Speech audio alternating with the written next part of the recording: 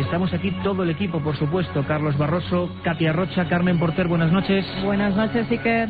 Hay muchos, ¿verdad? Hay muchos objetos heréticos, extraños, que han sido discutidos. Tenemos una buena lista. ¿Quién es de escuchar, por ejemplo, hablar del mapa de Piri Reis, verdad?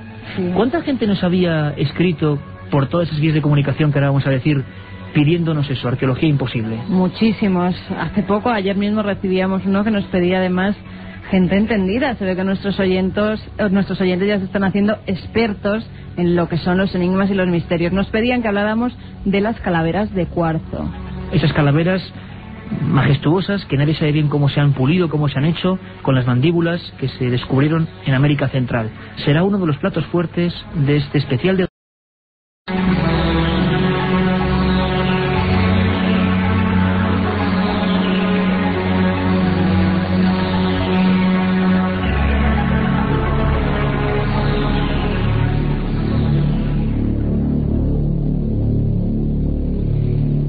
21-12 minutos. Sabéis que nuestra programación ha variado para bien. Estamos todos los viernes después de los compañeros del larguero, más o menos eso de la una y media hasta las 3.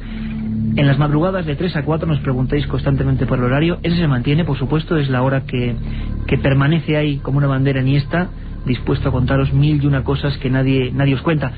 Y especiales como el de hoy, cuando el fútbol lo permite, de 9 a 11, un viaje por los objetos fuera del tiempo.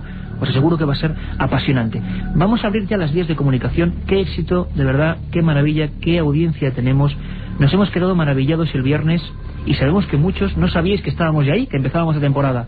Con ese 7640, eh, escribiendo milenio y espacio desde cualquier punto, recibíamos eh, casos, historias, sucesos, opiniones. Yo personalmente que era, no voy a decir escéptico, pero que bueno, que pensaba que no sé si podía funcionar o no la historia, me quedé francamente alucinado. Antes de Carmen de todos los datos, yo quiero deciros, como director de este programa, que como siempre es un orgullo, que hemos recibido tal cantidad de casos, de historias en lugares, que con muchos de vosotros que habéis enviado ese SMS, esos mensajes de móvil de texto, vamos a llamaros, vamos a ponernos en contacto con vosotros, porque ya habéis formado parte, o estáis formando parte, con esas noticias de la gran familia de corresponsales de este programa. Nos hablaban de casos en Tamames, Salamanca, nos hablaban de una historia con militares y objetos volantes no identificados, observaciones de todo tipo, premoniciones.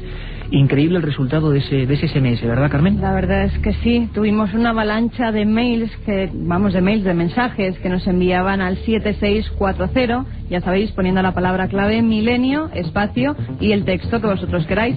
Las críticas, eh, las preguntas, los temas que queráis que tratemos, todos son bien aceptados. Como siempre, tenemos una línea de comunicación a través del mail milenio3 con número arroba cadenaser.com. Y para los que no tengáis todavía todas estas tecnologías avanzadas, pues como no, las cartas de siempre. Calle Gran Vía número 32, octava planta, a la atención de Milenio 3, 28013 de Madrid.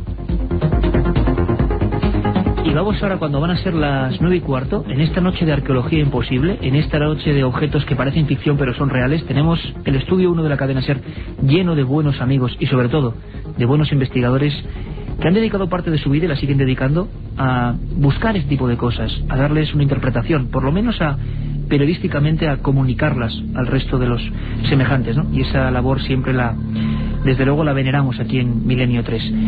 Os propongo una cosa, vamos a hablar de posibles tecnologías desconocidas. ¿Qué significa eso en la antigüedad? Que hubo quizá otras razas que no son desconocidas. ¿Fueron humanos, razas de seres humanos los que probaron la Tierra y quizá desaparecieron? ¿Son seres o dioses venidos de otra parte, como muchas culturas dicen? La pregunta, el debate está abierto. Luego Katia Rocha va a hacer los porcentajes. Cada noche en Milenio 3 una encuesta. ¿Qué piensa? ¿Qué piensa el pueblo? Nos visitaron en la antigüedad seres de otros mundos o sin embargo estos son pequeños objetos, pequeñas casualidades, cosas que no se entienden.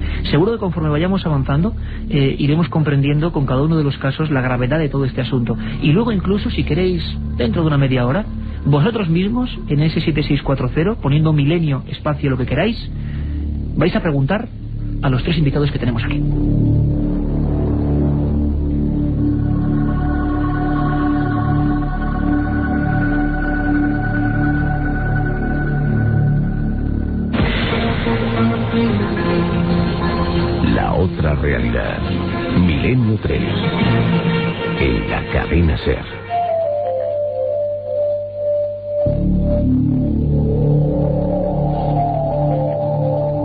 Como decía, el estudio 1 lleno de buenos amigos, de grandes comunicadores, investigadores. Yo, como es costumbre, tengo la mesa llena de papeles y llena de libros. Sabéis que son objetos que, a pesar de las modernas tecnologías, como dice Carmen Porter, son nuestro tesoro sagrado, los objetos de mayor poder que puede hacer el hombre, los libros. Tengo un libro y una revista. El libro se llama La historia perdida y lo hace, lo firma, eh, lo disfruta realmente en su escritura nuestro compañero Nacho Ares. Nacho Ares, cuya personalidad o biografía podemos resumir con lo que tengo en mi otra mano. La revista de arqueología, ni más ni menos, la prestigiosa revista de arqueología que él dirige. Nacho, compañero de este equipo, buenas noches, bienvenido después del verano. Buenas noches y bien hallado, después del verano, efectivamente. Bueno, estamos a gusto, ¿no? Aquí entre amigos y vamos a intentar que toda España, y además para eso sois maestros, eh, pues viva un poco eh, esas piezas que no encajan en ningún sitio. Tú que eres bastante escéptico en muchas cosas, ¿es cierto, Nacho, que hay piezas en el mundo de cualquier cultura eh, que parece que desafían a la ciencia, lo que sabemos de nuestro propio origen? Por supuesto, y antes en la entradilla has leído algunos de los ejemplos clásicos, no como la pila de Bagdad o el mapa de Piri Reis. Yo creo que en término americano, Odd Parth, en, en, ocasiones, o por lo menos según lo estudia la moderna arqueología, eh, ha quedado un poco pequeño en lo que es en realidad el campo de investigación, ya que, por ejemplo, objetos, entre comillas, tan enormes o tan grandiosos como la Gran Pirámide eh, son en sí mismo claro. una especie de objeto fuera de lugar. ¿Por qué digo esto? Porque son, como también tendremos oportunidad de ver a lo largo de, de estas dos horas de programa, objetos, eh, lugares, eh, en definitiva, momentos históricos del pasado del hombre que no encajan entre lo que es la idiosincrasia propia de la cultura que vivió en ese espacio-tiempo dado. ¿no? Es decir, eh, son en definitiva objetos que nos llaman la atención porque son excesivamente sofisticados, excesivamente extraños o que se salen de las coordenadas normales de esa cultura que vivió en ese lugar y ese momento. Una pregunta, Nacho. Eh, tú que diriges la revista de arqueología, pues la cabecera mítica, ¿no? Para informarnos de lo que es el misterio, en definitiva, de nuestra antigüedad. La arqueología más dura, el núcleo duro, vamos a llamarlo así, escéptico uh -huh. en torno a estos temas, sigue siéndolo, no acepta, eh, sigue, mmm, digámoslo así, condenando a la hoguera, entre comillas, y que se me entienda, eh, las piezas y objetos de las que íbamos a hablar. Hombre, hay de todo. Eh, yo creo que, por ejemplo, cuando nosotros leemos, o lo, por lo menos los que estamos en esta mesa, que hemos crecido muchos de nosotros leyendo libros de Eric von Däniken, de Zacharias Sitchin, etcétera, ahí encontramos referencias, incluso estos autores son bastante eh, quisquillosos a la hora de criticar lo que es la, ciencia tradicional, la ciencia académica. Lo que sucede es que en muchos casos, si nosotros nos ponemos a indagar en revistas eh, no solo voy a decir de egiptología, que es mi especialidad, ¿no? sino de revistas científicas de otras especialidades como sumeriología, siriología, mayología, etcétera, en muchas ocasiones nos encontramos artículos de investigadores académicos serios que lindan este tipo de investigaciones y que de una manera eh, más ortodoxa que heterodoxa hacen esas pequeñas incursiones en lo que es el mundo del misterio de una manera muy abierta, de una manera muy genérica. Hablaba nuestro buen amigo Nacho Ares que a partir de esta noche vuelve con su historia perdida, su sección de auténticos misterios de fichas, pues como esto, fuera del tiempo, cosas, historias que se quedaron ahí sin resolver. Esta noche de 3 a 4, una cita con él, por supuesto. Hablaba Nacho de su gran pasión, claro, la egiptología. Eh, tengo otro libro, también de la editorial Edad, El secreto de la gran pirámide, la construcción más misteriosa del mundo. Y lo he hecho yo creo que el hombre que es, me apostaría a todo a nada, que es eh, quizá el, el, español que más tiempo se ha pasado entre los pasadizos de ese, como decía Nacho Ares, gran objeto fuera del tiempo que es la Gran Pirámide. Manuel Delgado, compañero, bienvenido a Milenio 3. Encantado. Es cierto que en Egipto, vamos a hablar luego, por ejemplo, del avión de Saqqara, eh, de algunas piezas de boomerangs, de volantes, de objetos voladores que utilizaban en aquella época. Egipto como cultura avanzada también tiene sus propios mmm, hallazgos misteriosos arqueológicos que parece que nadie comprende? Indudablemente. Además, eh, lo bueno que tiene la egiptología, la egiptología más abierta, es que actualmente se están incorporando eh, personajes de todas las ramas del saber, de toda ciencia, porque hasta ahora, eh, bueno, el, turista normal que va a Egipto ve los grandes prodigios de aquella civilización basados exclusivamente en los restos que quedan, en lo que es la arquitectura y lo que es la ingeniería. Lo que pasa es que ninguna rama del saber avanza, sino avanzan todas las demás.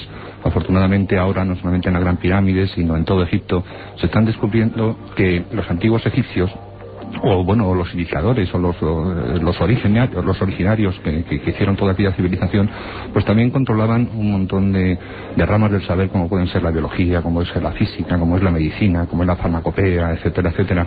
Pero a mí me parece, eh, bueno, ya tendremos tiempo a lo largo del programa de, de, basarnos un poquito en el dato y en los documentos que hay en los museos o fuera de ellos, pero me parece muy interesante lo que has dicho tú al principio, de hacerte ese tipo de preguntas, porque a fin de cuentas yo creo que cada uno encuentra lo que va buscando. Y que pasa es que en algunos sectores de, la arqueología oficial nos hacen cierto tipo de preguntas en algunos sectores de la ciencia, ¿no?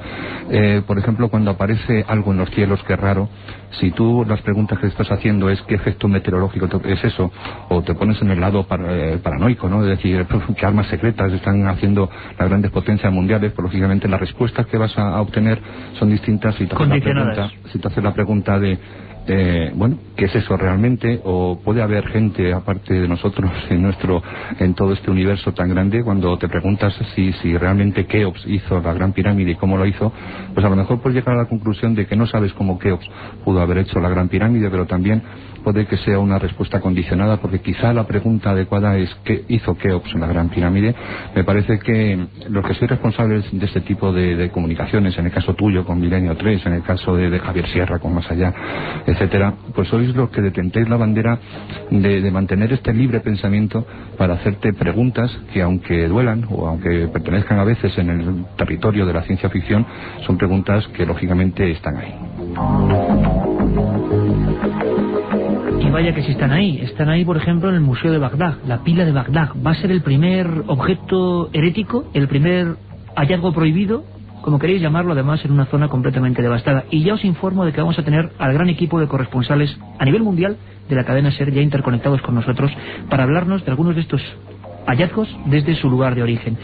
Y el último libro que tengo aquí, que no es su último libro escrito, por supuesto, es un auténtico viaje por no sé cuántos países, Javier Sierra, en busca de la edad de oro. Pues Pero un montón, ¿verdad? Casi una veintena. Casi una veintena. Y buscando, entre otras muchas cosas, eso, los rastros de objetos, de historias que no encajaban en su tiempo y que si pensáramos fríamente en lo que vamos a plantear hoy, pues nos haría hacer algo que es demasiado trabajoso, que es mm, reestructurarnos lo que sabemos de nosotros mismos y nuestro pasado, de nuestro origen. Claro, yo intenté en ese libro, en, Busca de la Edad de Oro, no quedarme solo en la, en la anécdota, en el objeto o en la pieza o en el edificio o en la prueba arqueológica que no encaja, sino tratar un poco de eh, leer qué es lo que había detrás.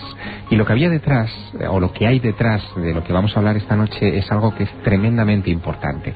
Según decían los griegos, y también lo decían los antiguos hindúes, y también está recogido en la mitología egipcia, antes de la historia conocida hubo otra historia, eh, una historia en la que hubo civilizaciones desarrolladas, en la que se conocían ciencias entre ellas, por ejemplo, la cartografía, hablaremos del mapa de Piri Reis, eh, que parecen patrimonio de gentes a partir del siglo XV o XVI con cierta precisión y que sin embargo ya se conocían en la antigüedad.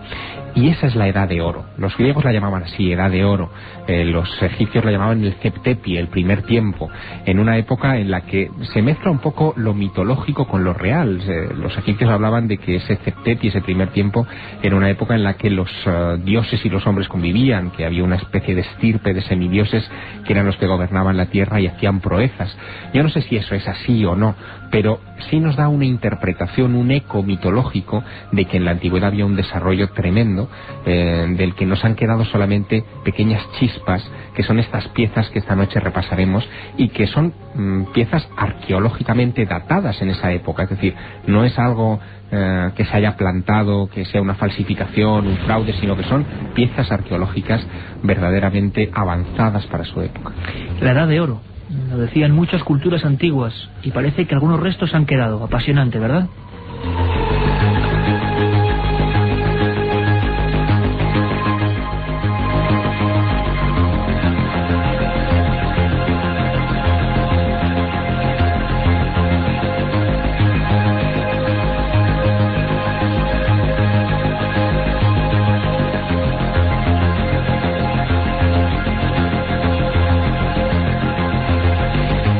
Empezamos el viaje, compañeros. Todos atentos, la cadena SER se va a poner a buscar, a rebuscar, a recrear la historia de esos objetos perdidos. Y empezamos con uno realmente misterioso, realmente extraño, en un lugar, como decíamos, saqueado, y donde hemos empezado, en el norte de Irak, con esas excavaciones, esas mm, prospecciones en busca, por ejemplo, de petróleo, y que se encontraron con otras cosas que no estaban en el guion. La pregunta sería, ¿hace miles de años los hombres llegaron a usar la electricidad?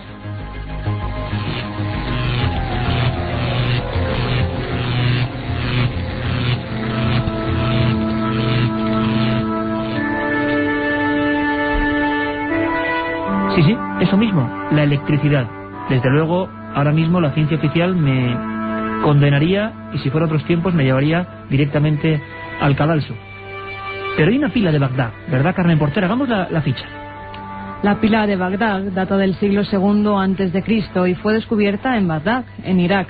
Se encontraba en el museo de esta ciudad antes de la guerra. Se trata de una pequeña vasija de arcilla dotada de una tapa de asfalto y atravesada por un tubo de cobre que albergaba una varilla de hierro corroída por el ácido. El ingeniero alemán Wilhelm König en 1936 se dio cuenta que estaba frente a una rudimentaria pila eléctrica. Una pila en Bagdad, siglo II antes de Cristo. Ya lo sabéis, 7640, milenio, espacio, empezamos a opinar. ¿Os parece? ¿Esto es posible? ¿Esto es ficción? ¿Es cosa de locos? ¿O es que alguien sabía más de lo que nos cuentan? Vamos a ver, Nacho Ares, compañero. Y por cierto, tanto Javier como eh, Manuel Delgado, en cualquier momento podéis intervenir. Esto quiero que sea una tertulia abierta, no hay ningún problema. Iremos haciendo las fichas de los, de los casos. Pero como es un programa muy especial, eh, que además esta misma semana nos comunicaban que podíamos hacer algo tan amplio como dos horas, en cualquier momento podéis intervenir con vuestra opinión. ¿Parece? Nacho, si quieres empezamos. Eh, la pila de Bagdad. Carmen nos ha hecho la fotografía, la ficha. ¿Es posible? ¿Esto es cierto?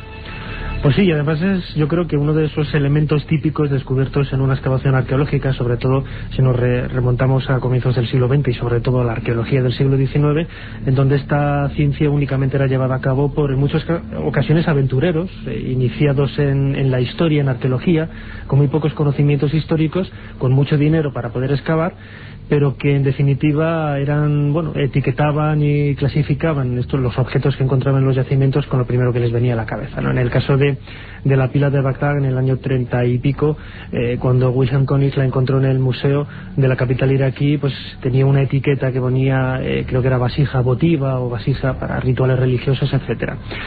Eh, lógicamente hoy todo este, este cambio, ha sufrido la arqueología un cambio bastante grande en el sentido de que las misiones arqueológicas pues están compuestas en muchos casos por ningún arqueólogo y más por eh, geólogos, antropólogos, etcétera, especialistas de otras, de otras eh, especialidades, valga la redundancia. ¿no? Pero en el caso de la, de la pila de Bagdad, lo más curioso de todo es que efectivamente nos encontramos ante una pila de más de 2.000 años de, de antigüedad y el el siguiente paso que hay que, que hay que intentar buscar es para qué servía. Y es aquí en donde aparece quizás la respuesta más satisfactoria a este enigma. Si efectivamente ellos conocían la electricidad, eh, podríamos especular si el descubrimiento fue casual o producido por una investigación, pues ¿para qué la utilizaban? Bueno, pues en el propio Museo de Bagdad y también en el Museo del Cairo, por ejemplo, hay joyas de, que tienen una patina dorada, un recubrimiento dorado, que no es eh, que no es oro y son falsificaciones de joyas antiguas. La única manera de conseguir esta falsificación es por medio de la electrólisis y quizás este era el fin para que eran utilizadas las, las pilas. Únicamente añadiendo un elemento galvánico que podían haber conocido perfectamente hace dos milenios como el zumo de naranja o el vinagre, esas pilas, la reconstrucción de esas baterías que se hicieron luego en Estados Unidos fueron capaces de producir una carga eh, muy pequeña, apenas 0,5 voltios. Nacho, perdón, me estás diciendo que eh, mm, mucho tiempo después se vuelven a reconstruir estas pilas con los Sí. mismos medios y funcionan. Sí, sí, sí, sí. La arqueología experimental, eh, sobre todo a través de este ingeniero Wilhelm Koenig, eh, una vez de vuelta a Estados Unidos, reprodujo en laboratorio una copia exacta de, de esta pila y él consiguió en laboratorio conseguir una, pues eso, una carga eléctrica muy pequeña, como decía antes, de apenas medio voltio, pero lo suficiente para eh, poder conseguir en, bueno, en un medio controlado pues falsificaciones de joyas como lo que él hizo.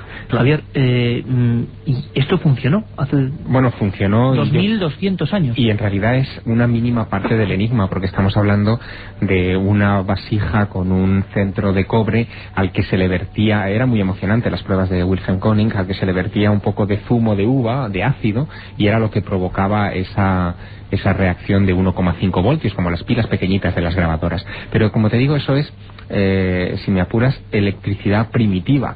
Mm, hay otros ejemplos todavía más eh, sorprendentes que nos hablan de un manejo de la electricidad a gran escala y que todavía hoy se nos ponen un poco los pelos de punta. Fíjate, para fabricar aluminio, el aluminio se hace con la bauxita y con el concurso de la electricidad.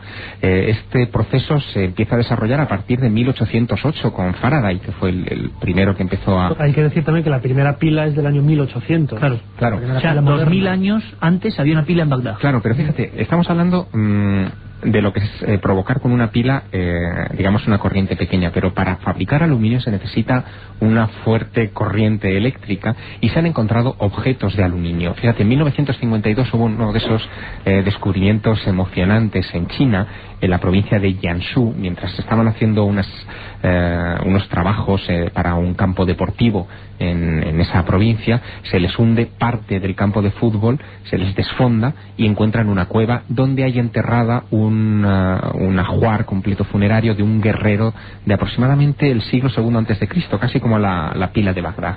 Mm, Vacían el ajuar, encuentran joyas de todo tipo, armas, eh, toda la armadura completa de, de este señor del siglo II antes de Cristo, que además eh, se llegó incluso eh, a, a conocer el nombre del individuo, se llamaba Zhou Chu, y en la tumba de Zhou Chu, cuando sacan el cuerpo, cuando sacan el cadáver, resulta que tiene una, un cinturón con una hebilla de aluminio. Aluminio de hace 2200 años.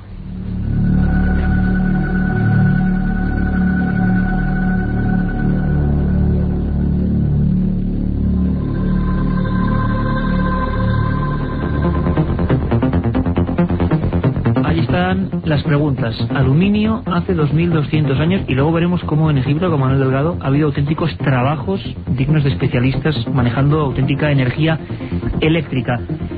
Katia Rocha, ¿están llegando ya esos mensajes? Cuéntanos. Muchísimos mensajes, pues igual que ayer. eh, tienen que enviarlos al 7640. El coste del mensaje es 60 céntimos de euro masiva. Y tienen que poner palabra clave milenio, espacio y el texto que quieran enviarnos. al Por cierto, que 7640. sorteamos- Sorteamos cinco libros de la Sábana Santa, editados por Edad, de Carmen Porter, dentro de la colección Archivo del Misterio. Algunos de los mensajes que hemos recibido. Por ejemplo, Juan Carlos de Toledo quiere saber si han seguido las investigaciones del Arca de la Alianza y también qué ha pasado con la réplica de Barcelona. Ana desde Miami nos pregunta sobre las huellas del río. Vamos También- a hablar de ello, vamos a hablar de ello, que esté pendiente. Capitán desde Marbella nos pregunta que qué novedades hay sobre la Atlántida. Y Marcos de Madrid, que si es verdad que en el mapa de Piri Reis venía reflejada ya la Atlántida. Y por último, Cris y Susana desde Barcelona preguntan si el cronovisor es un OPA.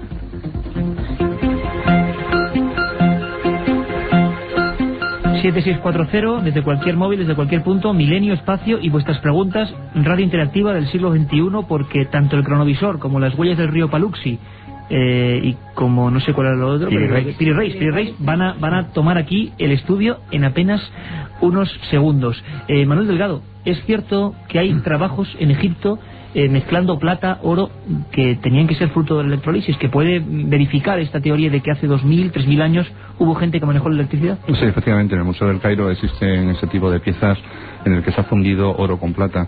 Por la diferencia de fusión de estos dos eh, materiales, pues eh, lógicamente la única forma de hacerlo es por electrolisis y eso implica el conocimiento de la electricidad. A mí me gustaría saber un poquito, eh, ahondar un poquito más en la pila de Bagdad, ¿no? Se ha mencionado que podíamos especular sobre el conocimiento de la electricidad de lo que construyeron las- la, la pila y yo no tengo la menor duda de que una pila de Bagdad o cualquier de las cosas que hablaremos ahora de Egipto, pues si no tienes el conocimiento previo del funcionamiento jamás, pues, o sea, una pila de Bagdad no sale de un árbol. Generación No la- espontánea no sale, desde luego. Efectivamente, tienes que saber primero lo que tienes que hacer para luego construirlo, ¿no? En Egipto tenemos eh, muchas razones para pensar que también conocían electricidad de muy alto nivel. Lógicamente estamos en un terreno absolutamente resbaladizo, ¿no?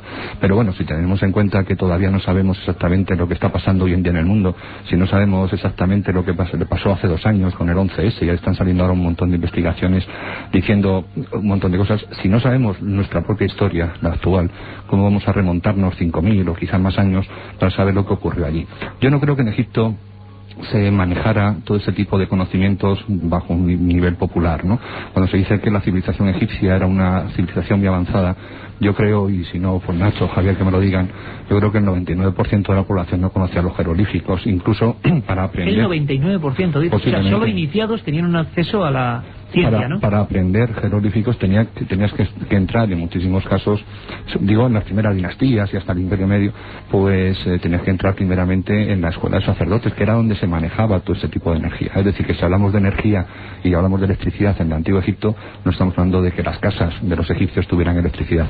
Lo que sí estoy convencido es que estos pequeños grupúsculos, que desde Egipto, yo creo que hasta hoy prácticamente, Javier, ¿verdad?, eh, han surgido de una manera muy minoritaria, eh, de una forma muy oscura, que han ido transformando en, diversas sociedades secretas, yo, creo que eso sí tenían y detentaban ese tipo de conocimiento. Por ejemplo, en el templo de Dendera tenemos eh, un montón de relieves en, los pasillos que, comunican con el techo. El techo del templo de Dendera es uno de los pocos eh, que se pueden visitar de, los templos. Y allí tenemos el caso de una electrolisis a, gran escala, ¿no? Tenemos un montón de rayajos en el suelo, hechos con picaduras, y bueno, los rastros que tienen estos rayajos, que son de 3 metros, 4 metros, que se van entrecruzando entre sí, pues nos da, vamos, nos da la prueba de que allí se habían instalado una especie de líneas de eh, cobre fundido y de plomo fundido. También en todo ese alrededor del templo existe una pequeña valla de unos 40-50 eh, centímetros con un lugar por donde se introducía un líquido y por otro lado por donde salía.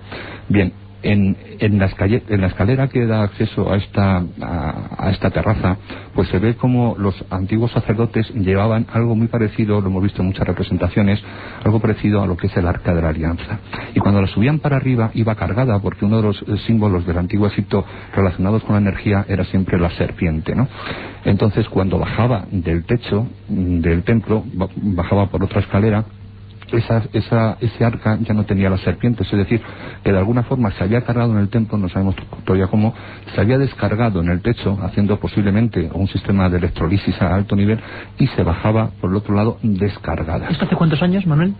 Más o menos? Bueno, el templo de Dendera, corregidme si no, es eh, aparentemente es de época tolemaica, pero posiblemente los ptolomeos hicieron una reconstrucción de un templo mucho más antiguo. hay algunos autores que afirman que, según eh, algunas pieles de gacelas encontradas en el Museo del Cairo, yo todavía no las he visto, pero algunos así lo afirman, se dice que Keops ya hizo una reconstrucción del templo de Dendera. Miles de años. Miles de años.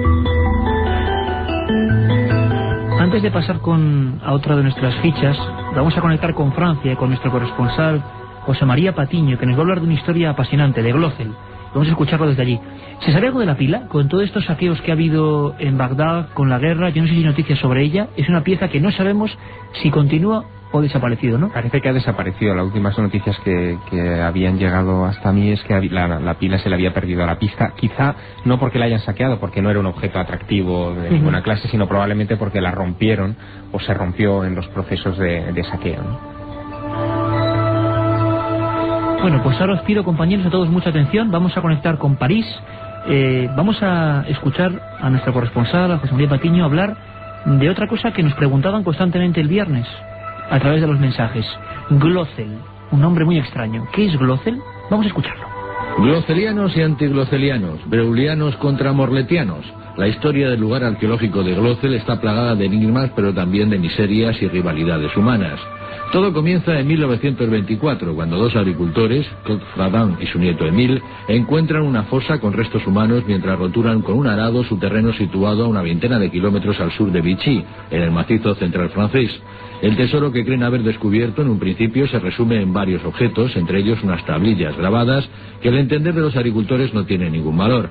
Vuelven a enterrarlos y siguen con sus faenas, pero ese mismo año, en verano, el hallazgo despierta el interés del padre Breil, responsable de Bellas Artes, y de un médico de Vichy, el doctor Morlet, que va a mantener una disputa personal que acabará perjudicando al propio Glossel.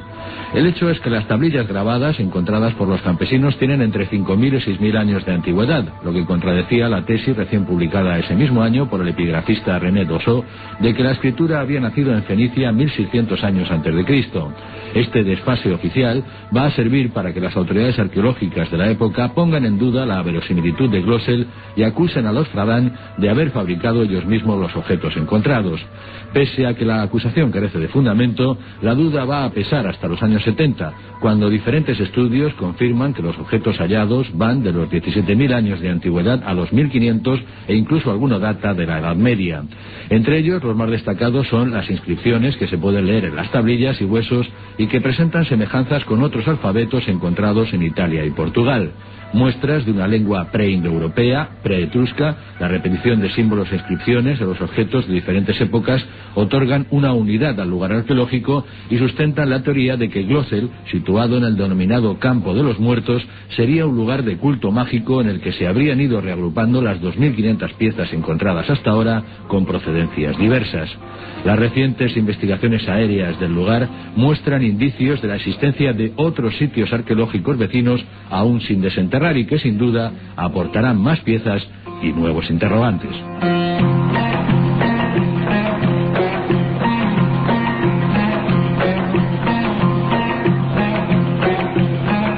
Un misterio Glossel, escrituras antes de lo oficial, supuestas culturas que escribían antes de lo que nos dicen los libros oficiales. Y esta música que escuchamos viene directamente del Bósforo, de esa ciudad mágica, Constantinopla, Estambul, un lugar también lleno de misterios y donde se guarda uno, uno muy especial, por el que además siempre preguntáis y que nunca hemos abordado, el mapa del almirante Piri Reis. Un viaje en busca del misterio. Milenio 3. En la SER.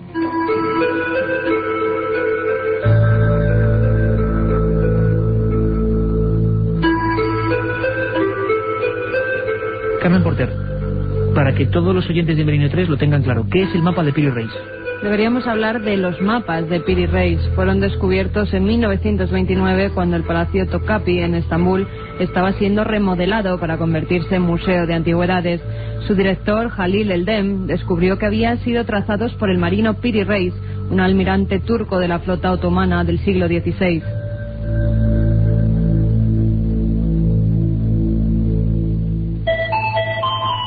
Están dibujados en varios colores sobre piel de gacela y cuentan con unas dimensiones de 85 por 60 centímetros.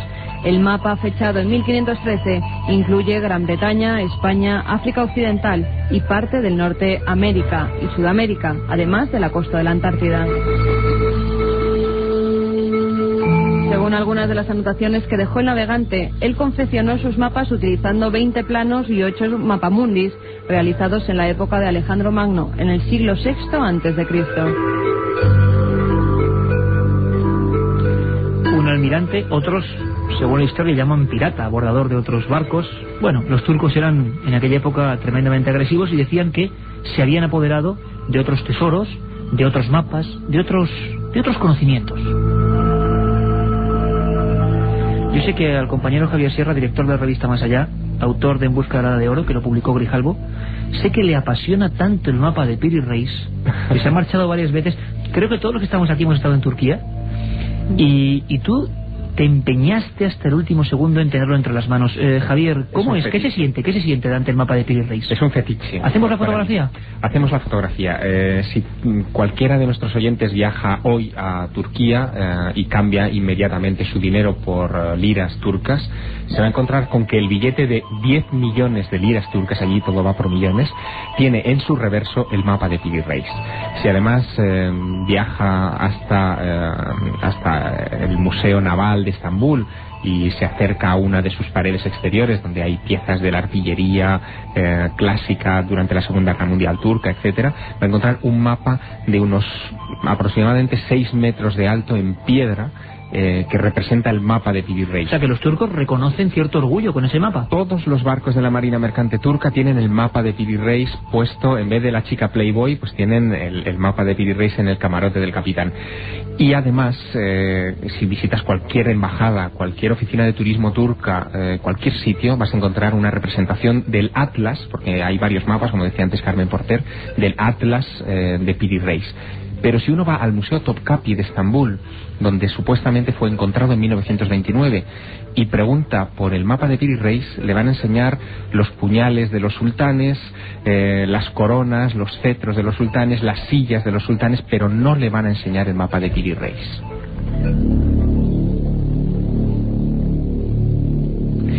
Es un misterio, porque yo había viajado en varias ocasiones a Turquía para ver el mapa de Reis, me extrañaba, me escamaba que una gloria nacional turca no se expusiera a la opinión pública. Es como si aquí nosotros eh, escondiéramos en un tubo de cartón las meninas de Velázquez, o la, dama de Elche. o la dama de Elche. Y eh, después de mucho insistir, de crear casi un conflicto diplomático entre dos ministerios, el de, el de, el de turismo y el de cultura, finalmente conseguí una cosa que, bueno, la verdad fue muy emocionante casi desde que murió Ataturk, eh, que tuvo ese mapa en su despacho y que ordenó que analizaran ese mapa y fue el que creó un poco la historia, ese mapa no había sido visto por nadie. Lo habían metido en un cajón de madera, lo habían encerrado en una, en una estantería bien hermética de la biblioteca del Museo del Topkapi y nadie lo había visto. Hasta tal punto era esto así que yo incluso había hecho algunas denuncias y algunas sugerencias públicas de que el mapa quizá lo habían vendido, se había estropeado, mm, se había traspapelado, en fin, cualquier barbaridad de una gloria nacional de ese país. Pues bien, después de muchas presiones, finalmente me enseñaron el mapa de Reis. Y la pregunta, Javier, sería, ¿Por qué tanto celo? ¿Qué perseguías? ¿Por qué ese mapa tenía algo distinto a cualquier otro mapa del mundo? Tiene muchas cosas muy interesantes ese mapa de, 1513. Eh, fue dibujado por uh, Piri Reis como un regalo para el sultán de Egipto, que en aquella época era eh, de dominio turco, estaban los otomanos dominando el Cairo.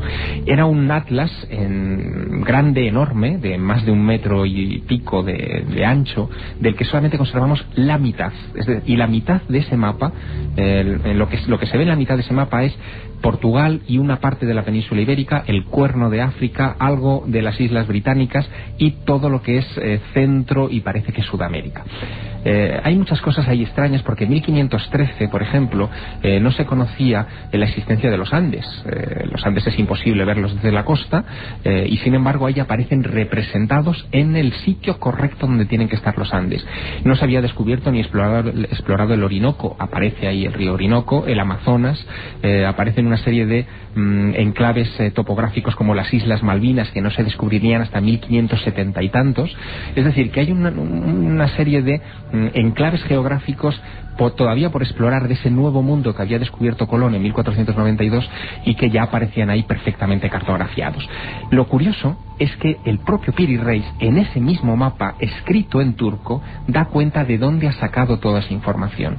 Y él cuenta cómo no solamente secuestró amablemente a uno de los pilotos del tercer viaje de Colón que tuvo la mala pata de caer en manos de este pirata turco, visto desde el lado cristiano, obviamente, desde el lado turco es eh, almirante, eh, en medio del Mediterráneo, sino que además eh, decía que él había consultado mapas antiquísimos anteriores a Cristo donde ya venía esa información. No me digáis que no es apasionante. Un mapa donde había conocimientos cartográficos que era imposible que supiésemos, a no ser que alguien, por ejemplo, se hubiese elevado y hubiera visto la Tierra, el globo, desde determinadas posiciones. Pero Nacho Ares, director de la revista Arqueología, la arqueología oficial eh, dirá algo, y tú en alguna ocasión en Historia Perdida también comentas algo, eh, mm, digamos que el gran bombazo de este mapa, y si no me corregís, es que también aparecen partes de las tierras antárticas que eran completamente desconocidas, que era imposible, y sobre eso hay un debate increíble. ¿Qué dice la arqueología oficial sobre ese mapa que nos cuenta cosas que son imposibles, Nacho? Bueno, después de quedarse uno fascinado de la historia casi de Anacleto, agente secreto de Javier Sierra para intentar dar con el mapa de Pierre Reis, la verdad es que el, quizás uno de los puntos más calientes de, la investigación alrededor de, este mapa de comienzos del 16 es precisamente lo que acabas de mencionar, ¿no? la, posible existencia de la Antártida al sur, bueno, en la, zona baja de lo que es este, este mapa que efectivamente no se conocía en aquella época. Y lo más curioso de todo es que eh, parece describir el perfil de, este continente sin hielos, lo que retrasaría aún muchísimo más el conocimiento de esa de esa zona geográfica del planeta miles de años atrás. Eh, algunos investigadores, como Graham Hancock, eh, ha planteado la posibilidad de que, bueno, y también otros investigadores, ¿no? Eh, pues que este continente azul sea precisamente lo que muchos han denominado la Atlántida. ¿no? Antes mencionábamos eh, los, últimos conocimientos, las últimas noticias sobre este, sobre este continente perdido. Es posible que la, que la tradición de la Antártida esté relacionada de alguna manera con la Atlántida, eso no lo sabemos porque es eh, pura especulación desde el punto de vista que no hay documentos. Lo que sí que es cierto es que es muy difícil, es muy difícil que, este, que esta parte del mapa de Piri Reis sea efectivamente la Antártida, por un par de hechos eh, básicos que bueno yo tengo aquí anotados que refleja muy bien Robert Schock, un geólogo estadounidense, es que si nosotros eliminamos los miles de millones de toneladas de hielo que tiene hoy el continente de la Antártida, el perfil que tendría no no tendría ningún parecido en absoluto con lo que aparece en, en el mapa de Piri Reis y sobre todo también la, fauna que aparece dibujada en esta parte del mapa tiene más paralelismos con lo que es Tierra de Fuego, lo que es el sur del continente americano, que con lo que podría haber efectivamente. ¿Y cómo podrían explicarse esos eh, hechos puntuales como las Islas Malvinas o partes de América que no se conocían reflejadas ahí en 1513? Eso es quizás los grandes enigmas que plantea este mapa. Efectivamente, si nosotros tenemos una lista de problemas planteados por, por este auténtico OPARF, hay algunos que se pueden eh, se pueden eliminar, pero hay otros, como comentaba Javier ahora, las Malvinas, el Órnico, etcétera, que, no tienen respuesta a la ciencia actual. Ha salido incluso recientemente una nueva hipótesis de trabajo realmente fascinante em, de un eh, capitán de submarinos de la Armada Británica llamado Donald Menzies. Él ha publicado un libro que se titula 1421, el año que China descubrió el mundo. Que por cierto, estamos venga a pedir a Grijalvo un, un toque de atención, amigos de Grijalvo, mandarnos el libro por favor, porque estamos ansiosos por el libro es ese programa. El libro es Antes sencillamente, sencillamente fascinante.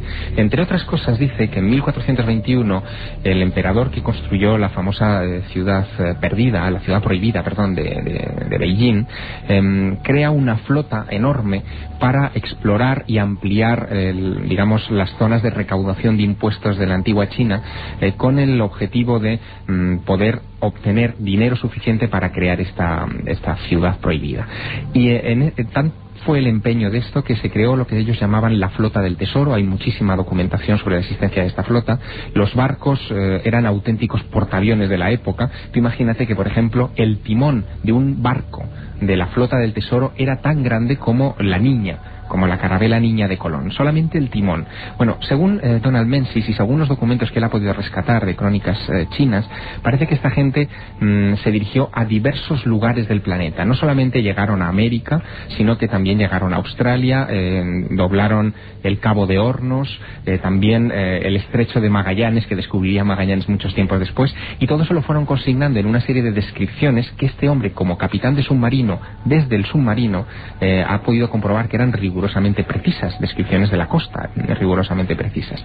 Lo que él dice es que probablemente eh, parte de esa información llegó a Venecia eh, aproximadamente hacia 1430 o 30 y algo, cuando estos chinos al regresar a Beijing fueron poco más o menos que repudiados porque el emperador que les había encargado esa misión había muerto y el nuevo no quería abrir China al mundo. Luego vagaron un poco por algunos lugares y esa información pudo haber llegado a Venecia a través de una serie de cartógrafos venecianos, pudo haber llegado esa información a Piri Reis, a los descendientes eh, de estos venecianos y a Piri Reis, y Piri Reis, gracias a esa información, pudo haber construido ese mapa.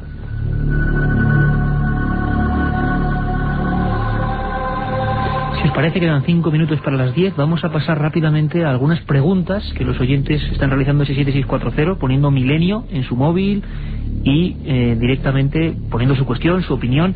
Hay una pregunta que flota, es, ¿nos visitaron alguien en la antigüedad o hubo tecnologías desconocidas que se han perdido por completo? ¿Sí o no? ¿Ficción o rotunda realidad?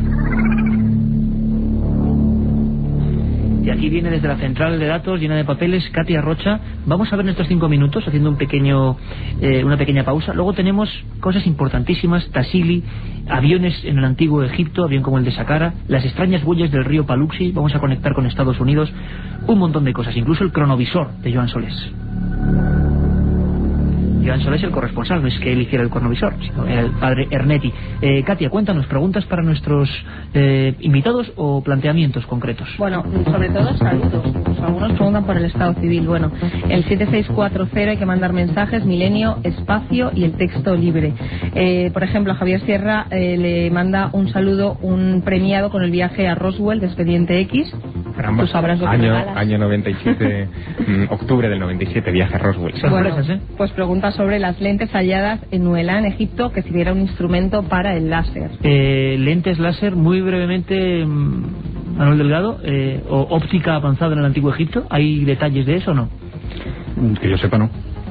Hay una hay una mm, lente que está ¿En en el Egipto? Museo Británico, no, está en el Museo Británico, Ajá. que es la lente, eh, fue encontrada en Eluan, que es una lente muy pulida, Sí, sí. muy muy perfecta, que forma parte de una tradición antigua realmente de lentes. Este es un asunto que se está investigando mucho y que, bueno, se llega a afirmar ya con datos que hasta el propio Nerón veía el circo gracias a unas gafas que él utilizaba. Sí, únicamente matizar que efectivamente en Egipto se ha encontrado muy cerca del Fayum hace varias décadas una lente parecida a la lente de Layard, una lente de que justifica la existencia de estos conocimientos en óptica tan sofisticados en el antiguo Egipto. Bueno, también nos preguntan un seguidor desde Vitoria sobre las pisadas humanas junto a los dinosaurios. Vamos a hablar ahora mismo de eso, las huellas del río Paluxi. Bueno, también sobre los jeroglíficos que incluyen, ah, en algunos de ellos incluyen objetos volantes pilotados, que si esto es cierto. Eh, ahora hablaremos de eso. Manuel, ¿hay objetos extraños volantes misteriosos entre los jeroglíficos egipcios? No, no, no sé si entre los jeroglíficos, pero sí entre las pinturas de muchísimas eh, tumbas. Eh, por ejemplo, nosotros tenemos referencias de seis tumbas en el Valle de los Reyes, entre las que están Ramsés III, Ramsés IV, Ramsés VI y Ramsés XI, en el que aparecen este tipo de, de, de- de hipótesis, ¿no? Con todo el con todo el problema que puede significar, ¿no? Venga, vamos rapidísimo Carlos con las nos últimas. pregunta sobre las apariciones de barcos en el desierto. También nos preguntan sobre libros sobre este tema que podamos recomendar a nuestros oyentes. Bueno, aquí tenemos unos cuantos, ¿no? En busca de la Edad de oro, Javier Sierra, Grijalvo. Hay que eh, deletrear, nos pide uno de ellos que deletreemos, por favor, la editorial. Grijalvo. Eh, el secreto de la Gran Me Pirámide. parece que se edad- refería a edad. Ah, edad, perfecto, acabado, acabado en F, sí. Estamos llenos de libros de historia, de investigación. El secreto de la Gran Pirámide, Manuel Delgado, eh, Editorial Edad, El Archivo del Misterio, La Historia Perdida también de Edad, y por supuesto, En Busca de la Edad de Oro. Pero habría muchos más, por ejemplo, ese 1421. 1421. Y algunos clásicos donde los haya, todos los hemos leído, son muy polémicos. Yo sé que Nacho y Javier y Manolo tienen una gran devoción por él. Hablaremos de él en un programa, si queréis. Eh, Eric von Daniken, ¿no? Supuesto. Y en busca de El oro de los dioses, Recuerdos del futuro. Bueno, ahora mismo os vamos a dejar con los servicios informativos y pronto regresamos en apenas cinco minutos con un montón de cosas. Cronovisor, pisadas junto a dinosaurios. Juanjo Benítez nos, a nos va a describir lo que es el Tasili y mil cosas más. Os esperamos, Milenio 3.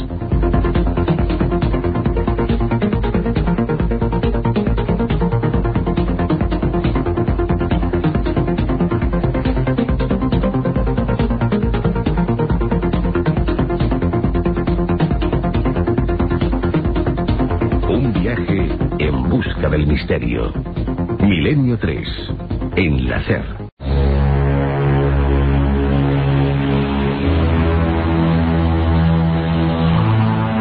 Un viaje en busca del misterio. Milenio 3. En continuamos, claro que sí, aquí estamos en el estudio 1 de la cadena SER, un buen grupo de investigadores, de amigos, pues relatándoos lo que se sabe, lo que se está investigando ahora mismo sobre esos objetos malditos, los OPARS, objetos, pinturas, escrituras fuera del tiempo. Y nos queda toda una hora para seguir con vosotros en interactivo, como siempre decimos, indagando un poco más en este misterio, en esta noche especial. 7640, la palabra milenio, espacio, y ya estamos haciendo los primeros porcentajes. ¿Creéis que en la antigüedad fuimos visitados por otras extrañas civilizaciones?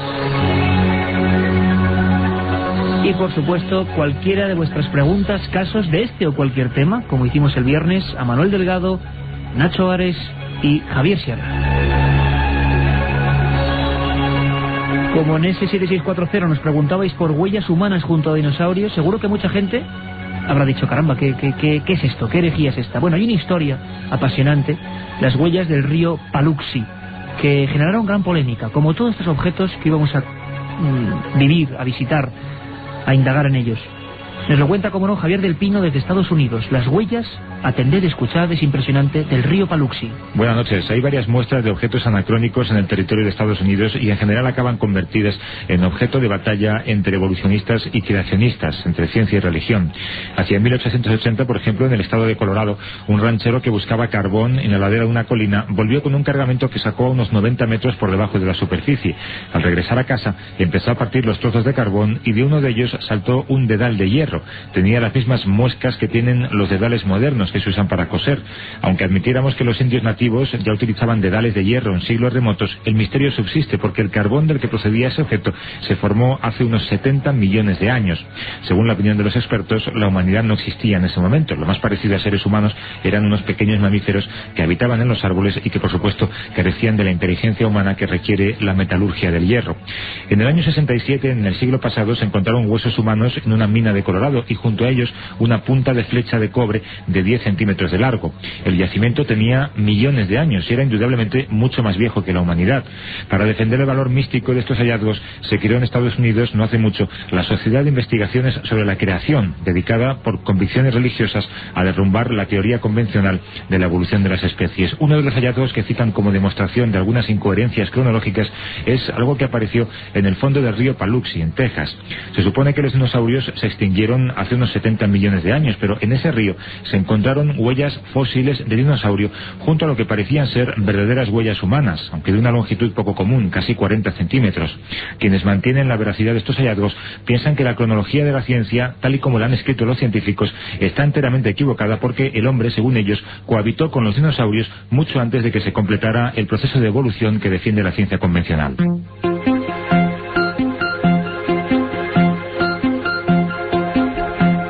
Huellas muy grandes humanas junto a dinosaurios. Parece increíble, pero no es el único caso. Haremos programas especiales sobre el misterio que nos preguntáis ahora mismo, sobre Ica, en Perú. ¿Convivió algún tipo de raza humana con los últimos grandes reptiles? ¿Herejía o realidad? Y ahora muy rápidamente, muy rápidamente, antes de volver con nuestros amigos, vamos a hacer un pequeño recorrido por lo que hicimos, una ojeada rápida el viernes. Sabéis que ha cambiado la temporada, muchos amigos de Milenio 3 todavía no saben dónde ubicarnos. Vamos a estar los domingos como hoy de 3 a 4 de la madrugada, el programa que nunca cambia, y los viernes de 1 a 3, de 1 y media a 3, perdón, después del larguero, de 1 y media a 3 habitualmente, todos los viernes, después de ese programa del larguero, estaremos nosotros, y ya lo hicimos este viernes con una emisión, creemos que muy especial. Una emisión, Carmen, muy dura, porque hubo un caso con el que empezamos que nos encogió el corazón a todos, ¿verdad? La verdad es que sí, fue un accidente que se produjo el día 19 de agosto. En él fallecieron cuatro personas. ¿Cuál es el enigma que tratamos nosotros? La predicción, la predicción de una niña de tres años, Alba, que a la misma hora en que su hermano estaba teniendo el accidente junto con tres personas más, murieron cuatro personas, iban cinco en el coche, ella a sus familiares, está con unos familiares en la casa, y ella les dice que su hermano acaba de morir. Nueve horas más tarde se confirmaría la noticia. Lo vivimos en esa primera noche de una y media tres, milenio tres, antes de hablar por hablar. Y fue muy duro, os lo aseguro, fue muy duro, eh, porque era una pequeña línea publicada por el país en una gran noticia de sucesos terribles. El accidente ocurre en La Pedriza, hacia las dos de la tarde. Hasta mucho, hasta la medianoche casi no se confirma. Y esa niña Alba va a sus familiares y les dice que acaba de ver el accidente, que acaba de morir su hermano y sus amigos. La confirmación fue terrible y hablábamos esa noche, es una pequeña, un pequeño corte con Encarnación Llerena, la madre de Alba, la madre de esta niña que tuvo la premonición. Sí, la, la cría estaba viendo pues lo, lo, lo de las motos, porque estaban echando lo de las carreras de motos por la tele y ella en ese momento le dijo al abuelo que su Tate y Rafa había muerto. Y, y, el padre, pues, para que el abuelo no escuchara eso, porque le dijo el abuelo, anda niña, no digas esas cosas. Claro, pues el padre se la llevó para la comida, para que diera de comer, pero en cambio le volvió a repetir al abuelo que si se había muerto. Encarnación Llerena, se producía a la misma hora la premonición de su hija en Madrid, en la Sierra de Madrid, y el accidente y la niña estaba a 600 kilómetros en Barcelona. Hablamos de más cosas, el tema OVNI siempre presente, pero con una novedad increíble. El Congreso de los Diputados, la Comisión de Defensa en Chile, dice sí a los OVNIs. Y ante nuestros micrófonos estuvo una diputada, Lili Pérez. Ella fue la que se encargó de llevar los ovnis al Congreso de los Diputados. Decía que entre tantos hombres era la única mujer, además... Y presidenta de la Comisión de Defensa.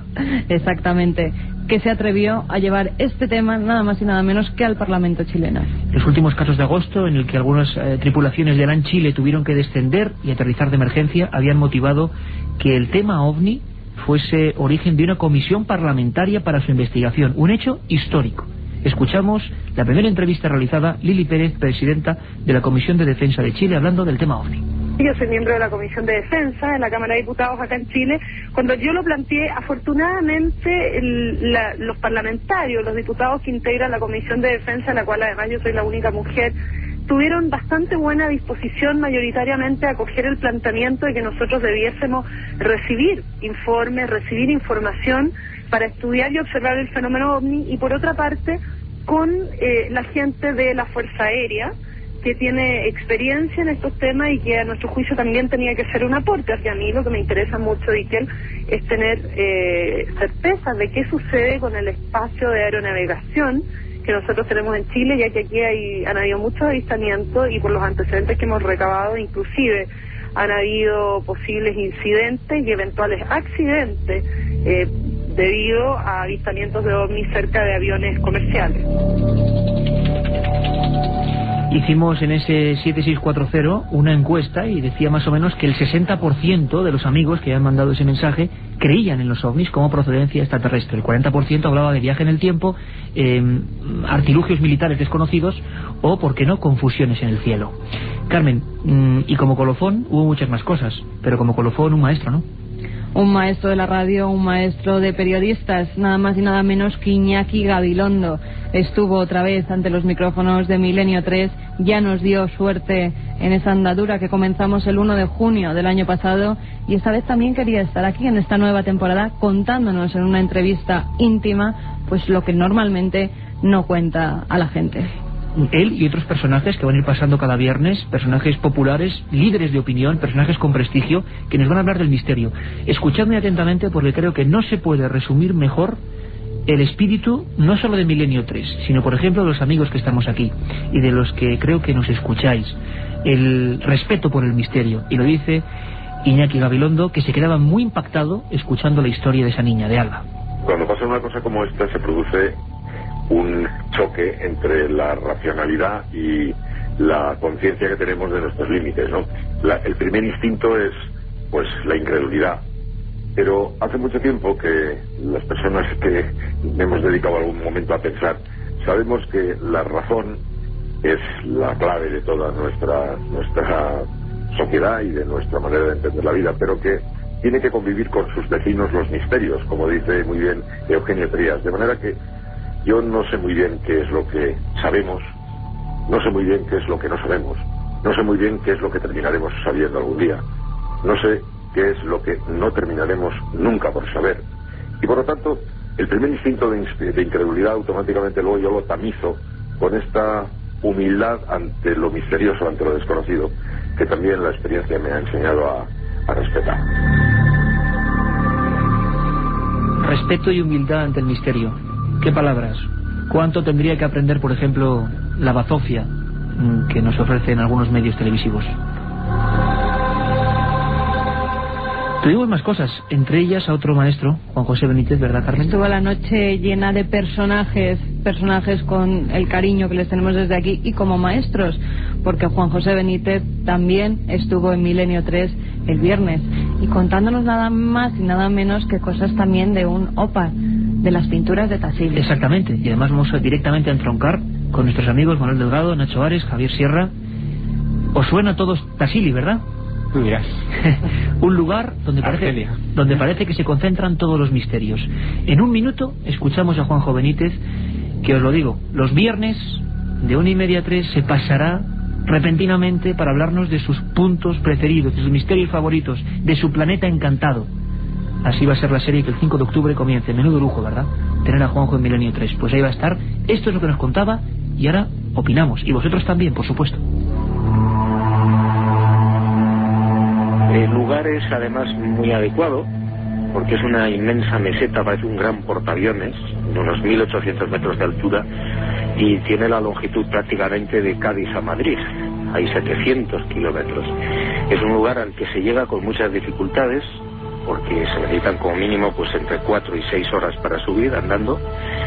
Y bueno, digamos que a efectos de una observación o de una investigación de seres de otros lugares que quieren eh, comprobar, experimentar con los nativos, con la gente que está en la edad de piedra, es un lugar ideal. Y hay una especie de objeto ovoide que está en el suelo del que salen llamas y por delante de este objeto hay un ser con una escafandra, con una especie de mochila a la espalda y un tubo que une esa escafandra con ese objeto que está detrás. Y este individuo está arrastrando hacia sí o hacia la nave a cuatro mujeres, una de ellas con un niño, de perfil negroide, desnudas, que evidentemente, mm, bueno, para los arqueólogos no hay explicación, pero para nosotros, para la gente que tiene un mínimo de investigación y de estudio sobre esto, está bastante claro. Es un rapto. Un viaje en busca del misterio. Milenio 3, en la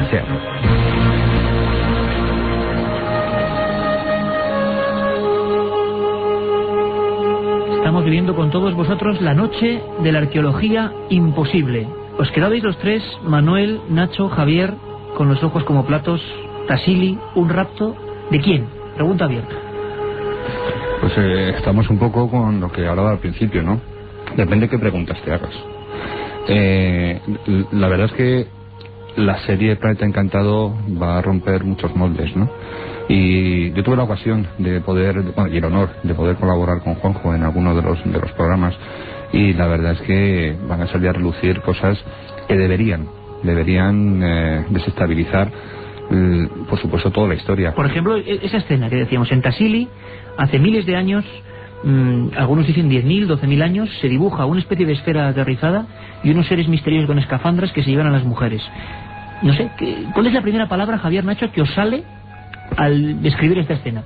Manuel. Pues yo creo que, que, está también en todos los grandes libros sagrados de todas las religiones, ¿no? O sea, es decir, eh, a mí me hace gracia algunas veces cuando vemos en un montón de películas como en un juicio pues se jura ante la Biblia y todo ese tipo de cosas. Lo que pasa es que cuando en la Biblia se pone que, que los ángeles del cielo bajan y ven a las hembras de los hombres tan hermosas que las fecundan y crean esa eh, esa raza de los grandes héroes de la antigüedad, bueno, eso yo creo que también interviene en la Biblia, ¿no? Yo creo que este mestizaje cósmico terrenal, yo creo que se ha producido. Yo no sé si está produciéndose ahora, posiblemente también, pero creo que se ha producido.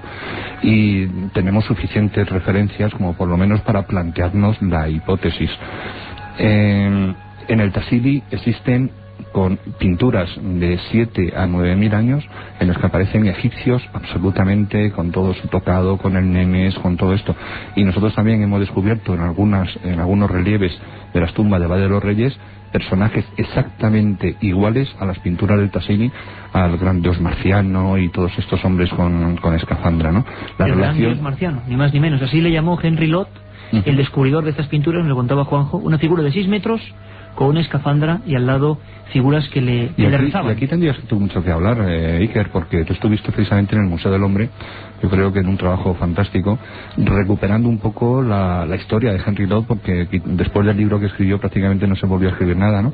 Y en cambio ese trabajo siguió eh, evolucionando, incluso se descubrió una escritura. escritura ¿eh? que tú tuviste la ocasión de dar en primicia y que lógicamente también desestabiliza mucho la historia. Y hablaba Juan Jodello, una escritura en la que se refería a Orión. Fijaros qué curioso, la fijación de algunas culturas antiguas con algunas estrellas. Nacho, Javier, Según la latitud, ¿qué pensáis? Bueno, mm, yo creo que ahí incluso la ciencia termina, terminará por, por aceptar algunos de estos eh, planteamientos, la posibilidad de que podamos haber sido visitados por otras civilizaciones en el remoto pasado de este planeta. Y digo que terminará aceptándolo porque algunos de los popes de la ciencia ya lo han aceptado. Por ejemplo, Francis Crick, que es nada menos que premio Nobel por haber descubierto el ADN, la espiral de ADN. Este hombre se dio cuenta de una cosa que es muy elemental, muy obvia, pero muy importante, que de un sitio donde no hay vida, no pueden hacer vida. Y que esas teorías...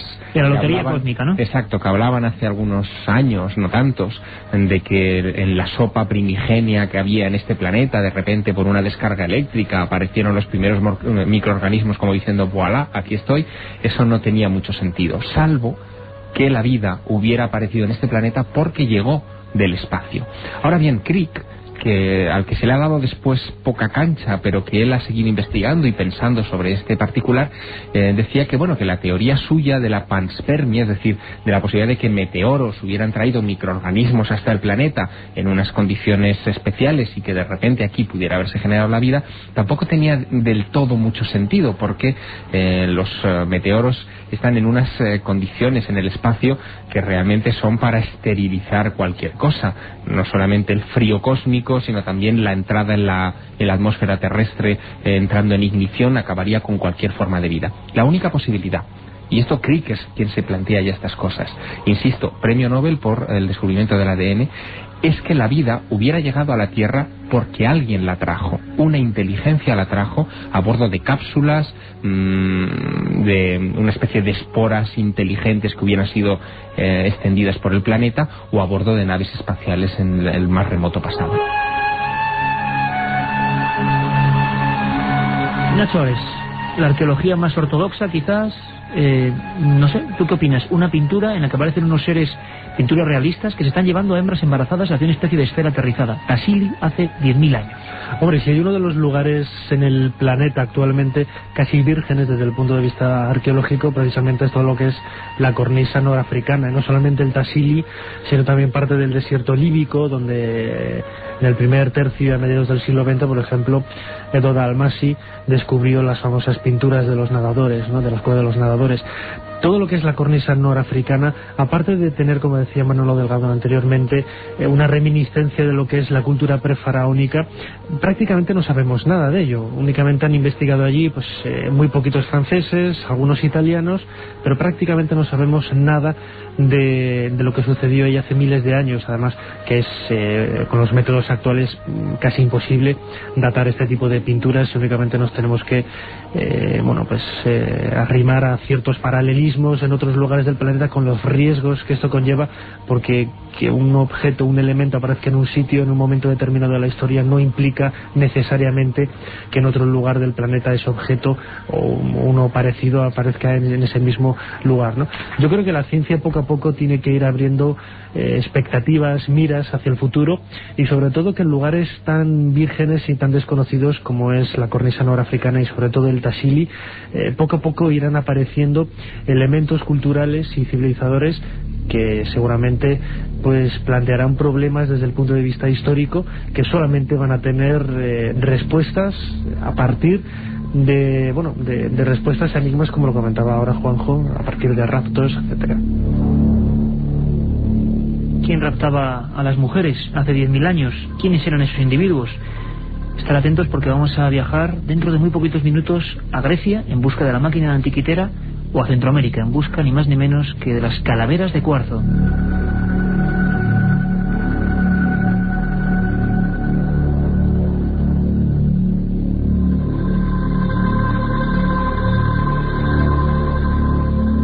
A punto de llegar a la frontera de las diez y media, temas cada vez más apasionantes, crónicas, documentos, ahí están. Katia Rocha, ¿qué dice la gente? Es eh, 7640, poniendo milenio y luego lo que queráis. Milenio Espacio y Desfelibre 7640. Pues, por ejemplo, nos preguntan sobre la lanza de Longinos. También nos preguntan si hay conexión, conexión entre Egipto y los mayas a través de las pirámides canarias. También te ¿Se sabe algo de eso, Manuel, Nacho? Eh, conexión maya-egipcia siempre ha sido un gran Sí, tema, absolutamente. ¿no? Absolutamente. Bueno, otra pregunta. Eh, Estos objetos nos explicarían con la novela de Michael Crichton Viaje en el tiempo, basura de viajes temporales, quizás. También Bueno. otro oyente nos pregunta sobre los grabados del astronauta y el guerrero de Palenque. Hay otra novela muy buena, aparte de la de Michael Crichton, acaba de salir, que es El origen perdido de Matilde Asensi, donde se habla, entre otras cosas, del mapa de Piri Reis, de las huellas del río Paluxi, eh, bueno, de los aymaras, de. Tiahuanaco, de todas las cosas que no encajan y que, bueno, Matilde encaja en la ficción, ¿no? Alfonso desde Madrid nos dice que él piensa que todo esto tiene que ver con que la humanidad ha sido creada gracias a inteligentes extraterrestres. Para aprender se necesitan maestros. Inteligentes extraterrestres. Inteligencias. No, voy, a, voy a tirarles un poco de las orejas a los inteligentes extraterrestres y que nos han creado ellos, ¿no? También hay otras opiniones que van con la de Alfonso. Nos dice Iván Aymerich, creo que nos visitaban de otros planetas para darnos su sabiduría. Y otros hace la pregunta a otro oyente, si nosotros hacemos experimentos, ¿por qué no podemos ser nosotros fruto de un experimento extraterrestre? Pues ya lo sabéis, 7640, Milenio, Espacio, lo que queráis, y esos cinco libros mm, de la Sábana Santa, y por cierto, cualquier tema que queráis del misterio que queráis que planteemos en futuras semanas.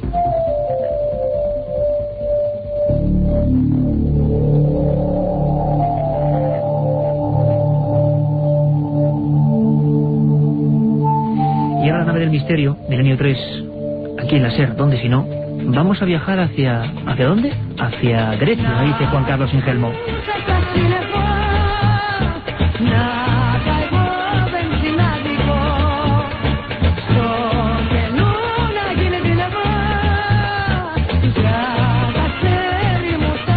Esa maravillosa cultura, dicen que se han perdido algunos conocimientos, pero desde luego qué maravilla, qué resurgir, incluso antes de la Grecia clásica, ¿verdad?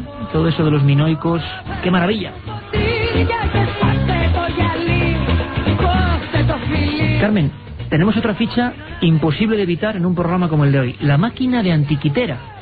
Data del siglo I antes de Cristo, fue hallada en la isla griega de Antiquitera y en la actualidad está expuesta en el Museo Arqueológico de Atenas. Se trata de un objeto de pocos centímetros tallado sobre una placa de bronce. Muestra un complejo mecanismo de relojería y astronómico. Cuenta con una rueda que posee 240 dientes y otros 40 que se engarzan con estos perfectamente.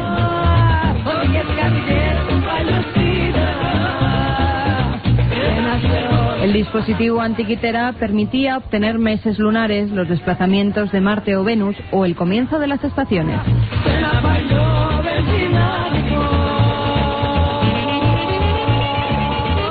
Y estas músicas mm, de esa tierra griega seguro que le traen buenos recuerdos a nuestro compañero, el viajero del programa, Carlos Barroso, que a pesar de que está un poquito convaleciente, él no quiere perderse nada, acaba de poner casi pie a tierra en España y estuvo investigando en torno a la máquina de antiquitera. Compañero Carlos, buenas noches. Hola, buenas noches, Iker. Buenas noches al equipo, a los invitados y, por supuesto, a los oyentes. Estamos encantados de que estés con nosotros. La gente nos pregunta por ti en los SMS y decimos que no, que dentro de muy poco la voz de Milenio 3 va a regresar. Eh, Carlos, la máquina de antiquitera, uno de los grandes misterios, el gran misterio de Grecia.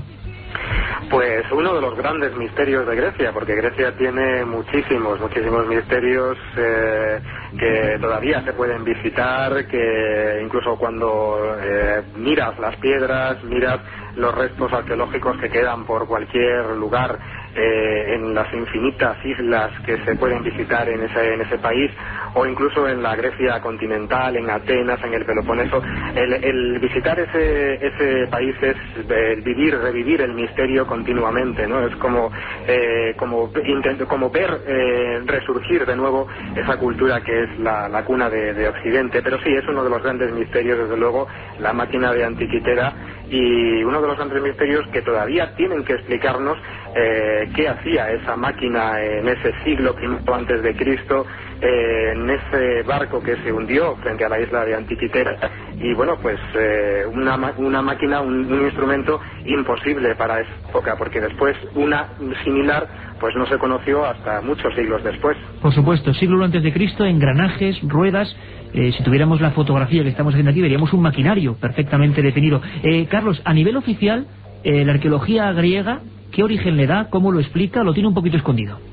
Bueno, pues en un principio el descubrimiento de la máquina de Antiquitera pasó un poco desapercibida. La, fue descubierta por pescadores de esponjas en el año 1900 y eh, fue descubierta junto a otros restos arqueológicos, estatuas, otros objetos y piezas de bronce y mm, quedó apartada un poco de la investigación porque se le dio más importancia realmente a lo que eran restos de estatuas y de tipo que a, la misma pieza de la máquina de antiquitera. Fue realmente el, arqueólogo Valerio Sestais quien eh, en el año 1901-1902 eh, reparó en la presencia de esa extraña máquina con esas piezas de engranajes o ejes que parecían, pues realmente al, verla parece como el mecanismo de, un reloj, de un reloj eh, eh, como lo conocemos ahora, un reloj de pared de estos antiguos, ¿no?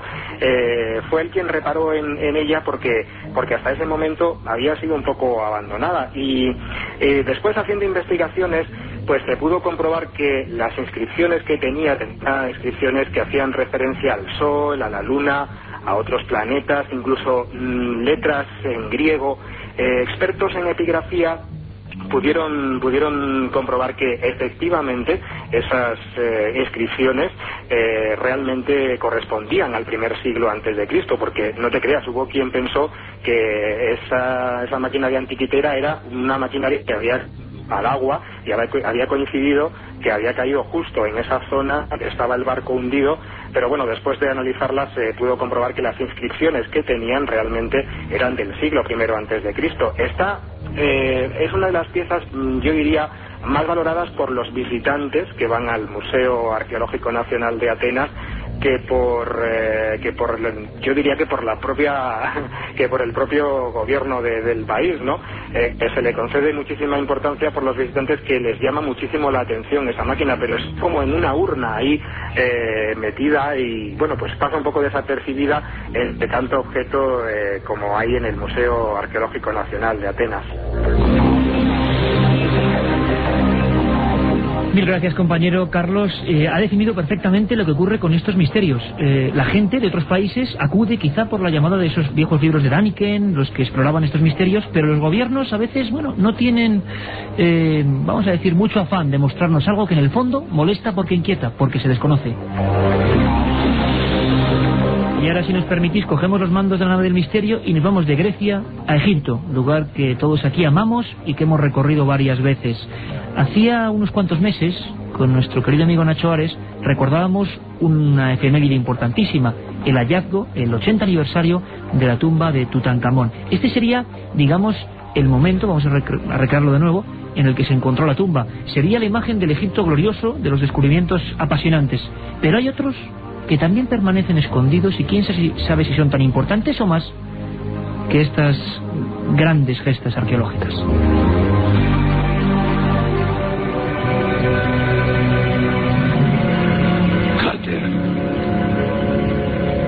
favor, ¿puedes ver algo?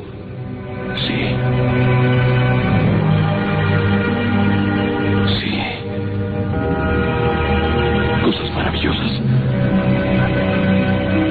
Cosas maravillosas. Cosas maravillosas.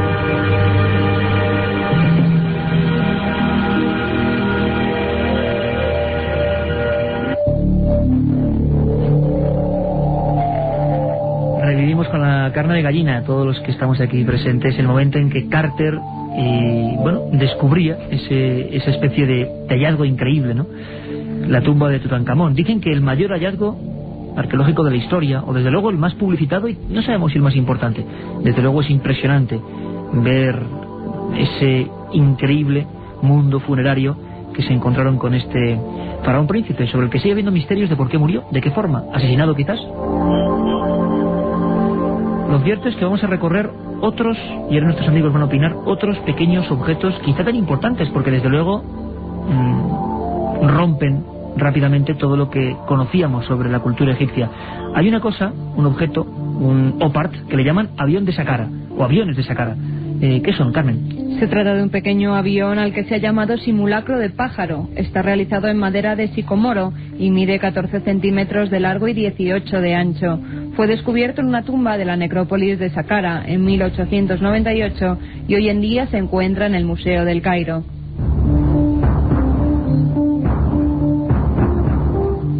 En un principio se pensó que se trataba de la figura de un halcón, pero algo la diferenciaba de las demás.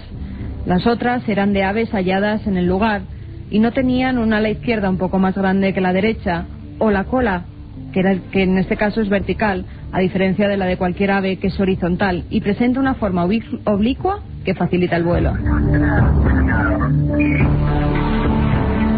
Compañeros, lo mismo. Eh, circuito abierto, levanta la mano Nacho Ares. Por un pequeño matiz, el pájaro desde hace varios años está desaparecido, no está en el Museo del Cairo. Voló. Voló, salió volando. Más de uno también se planteó la, planteó la posibilidad de que fuera una falsificación, pero lógicamente en 1898 no existían aviones, ni siquiera por la más remota idea de que pudieran tener diseños de, este tipo. Lo que es el pájaro, el pájaro de, de Saqqara entra un poco lo que es eh, uno de esos objetos que como decíamos al principio del programa, muestran una serie de características que no encajan con lo que es la cultura que supuestamente lo, diseñó. ¿no? Eh, sí que es cierto que en, la vitrina, por ejemplo, de la primera planta del Museo del Cairo dedicado a dioses egipcios, en donde aparecen otros pájaros similares, ninguno de los que se conservan ahí tiene las mismas características, eh, bueno, pues eh, todo lo que son las condiciones muy similares a las de los aviones modernos, ¿no? Que yo tampoco soy ingeniero eh, aeronáutico ni nada parecido, pero mm, lo poco que he leído, sobre todo a la investigación de, este pájaro, eh, los aviones de, modernos que, que muchos creemos que tienen las alas iguales, pues no, no las tienen iguales, tienen una serie de medidas para... para Se correspondía perfectamente y volaba realmente, dicen que hubo Se pruebas... Se sometió a un, a un, túnel, aerodinámico, exactamente, eh, hubo varias pruebas del doctor Mesija, que fue el que hizo todas las uh, los test para comprobar que era un objeto aerodinámico y lo era, pero digamos que también tiene unos primos este pájaro al otro lado del Atlántico, que son unos objetos de oro que se encuentran en el Museo Nacional, en el Banco eh, Nacional de Bogotá, en Colombia, que eh, pertenecen a culturas locales y que eh, también tienen ese aspecto aeronáutico extraño, o sea, alas, casi se parece más que a los aviones comerciales normales, que sería un poco el caso del pájaro de Saqqara, casi se parece más a los aviones invisibles F-117, a los cazas invisibles, con las alas triangulares,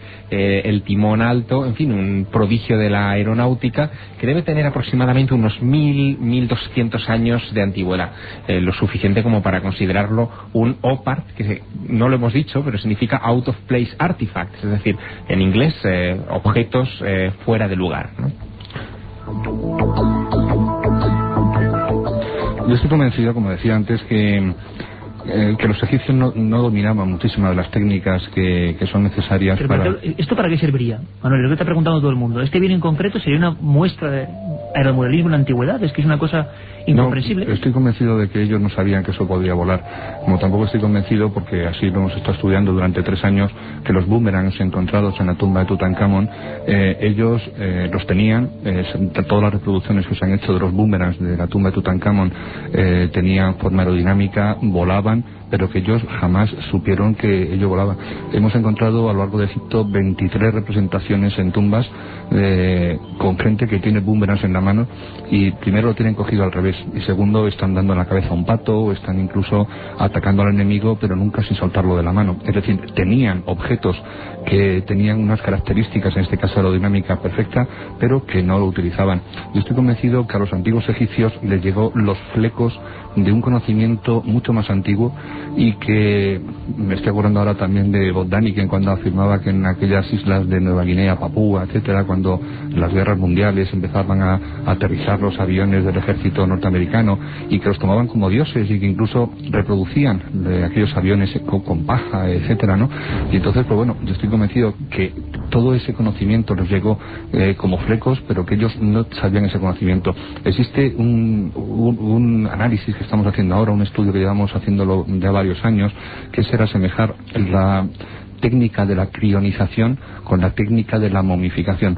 Yo estoy convencido que Ramsés II, que está ahora allí en el Museo del Cairo, jamás volverá a la vida en ese renacimiento, en ese renacer que, que afirmaba su religión, pero estoy convencido que a lo mejor eh, ese conocimiento que ellos aplicaban eh, para hacer la ceremonia de la modificación son tantísimas las coincidencias que tienen con una crionización y no será posible. Crionización que, si me permites, Manuel, es eh, el hecho, vamos, para que todo el mundo se entienda, de congelar algunos cuerpos para que en el futuro se mantengan perfectamente. Sí. Walt Disney. futuro- exacto, Walt Disney, por ejemplo, urbana, sí. eh, para que luego se mm, hagan los procesos de la ciencia sobre ellos. ¿no? ¿Tú crees que hay una similitud de ese conocimiento?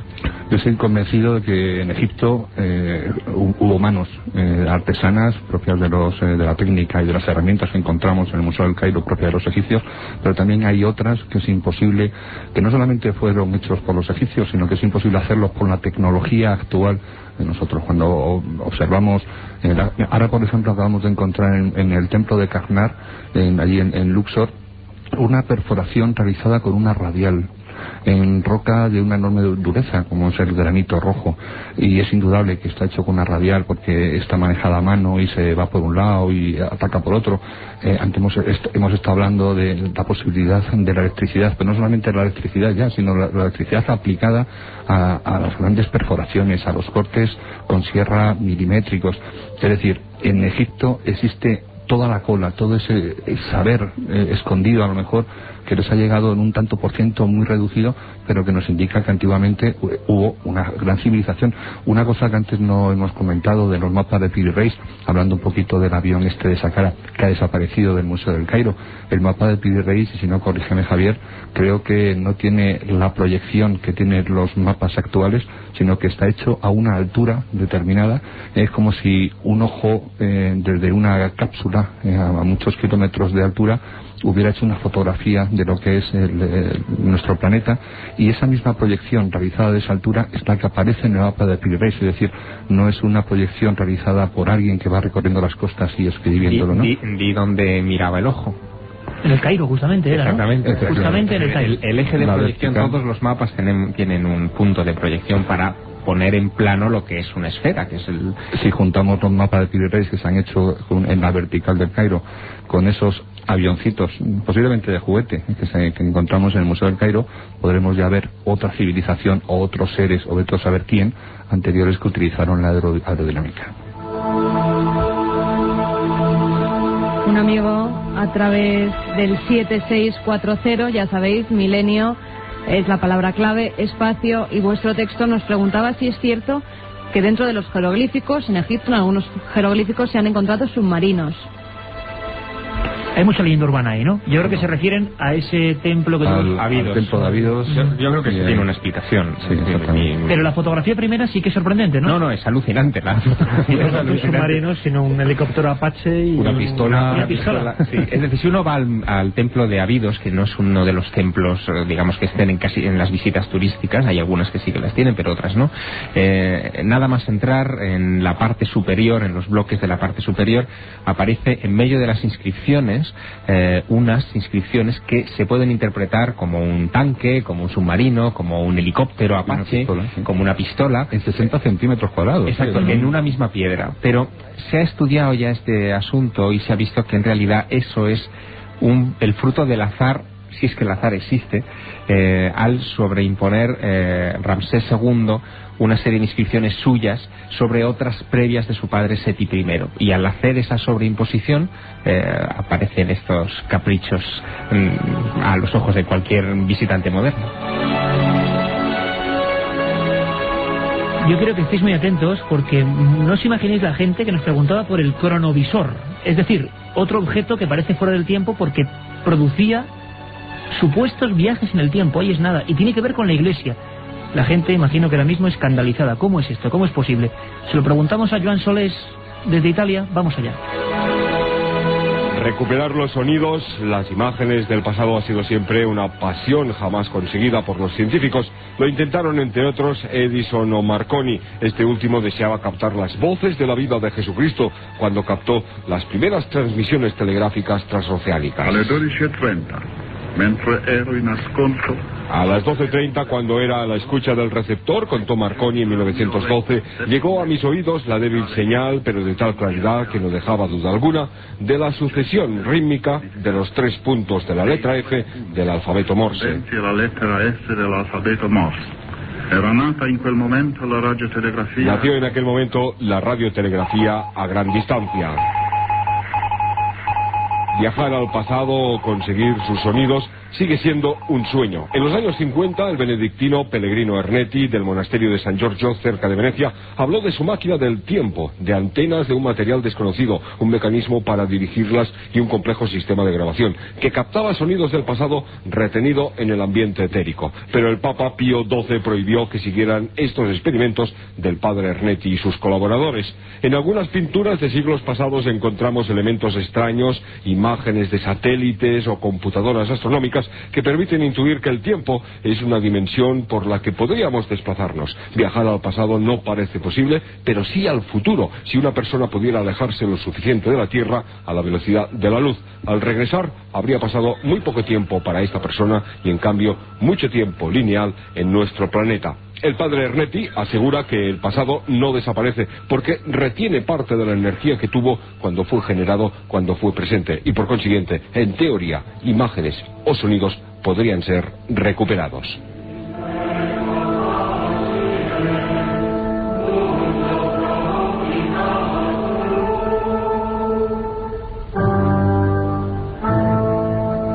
Un viaje en busca del misterio. Milenio 3. En la SER.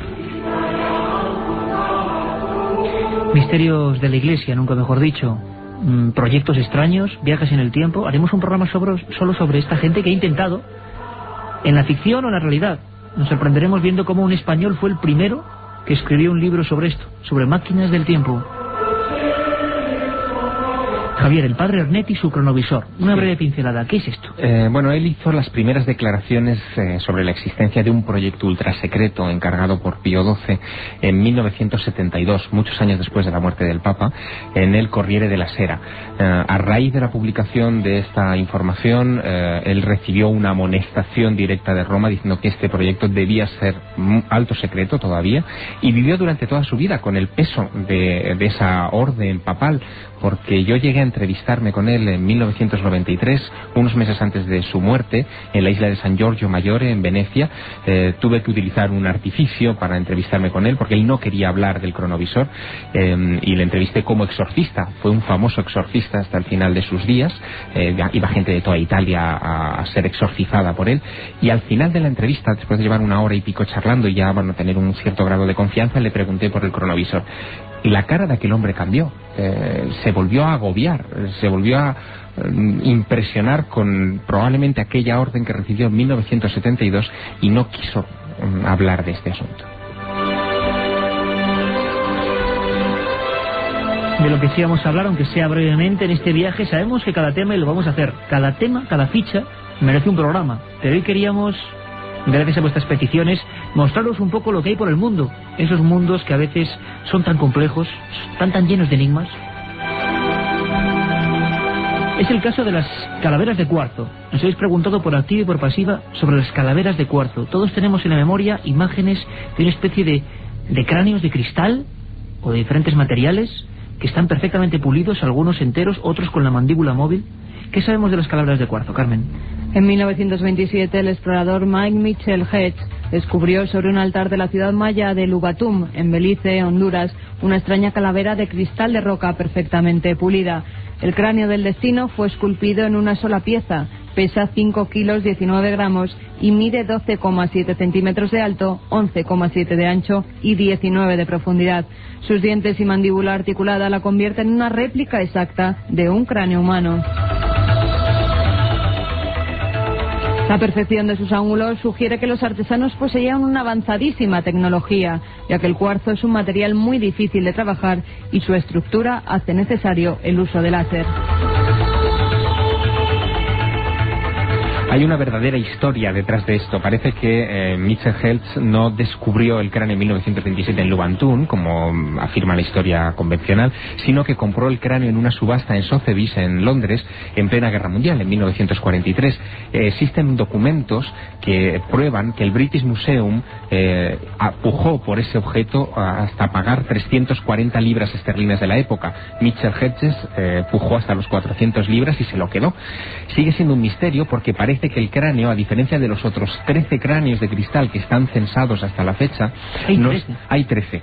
Eh, no es un cráneo azteca, probablemente es un cráneo anterior y tiene una serie de características que lo convierten en un objeto alucinante. Por ejemplo, está hecho en, cristal de cuarzo, pero está tallado el cráneo en contra de la veta de la piedra, lo que hace que, mm, y esto cualquier escultor lo sabe, eh, se lleve a ese material casi hasta el punto de la ruptura, sin que en este caso se consiguiera la ruptura y se obtuviera un objeto perfecto. Creo que no os podéis quejar. Aviones de Saqqara, máquinas de antiquitera, la pila de Bagdad eh, y ahora los cráneos de cuarzo, mil cosas y eso era una pequeña porción de los OPARS. Ahora sí, vamos a someternos en sus últimos cinco minutos, si os parece compañeros, al veredicto de la audiencia, a nuevas preguntas de nuestros amigos de Milenio 3.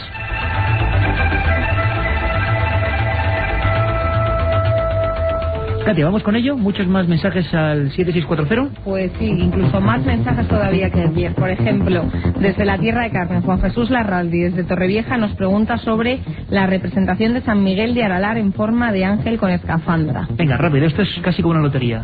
Atienza, ¿no? El Eh, bueno, Atienza. es una, una representación en, en la que el santo aparecía con la cabeza dentro de una urnita de cristal pequeña que parecía un casco, un astronauta, ¿no?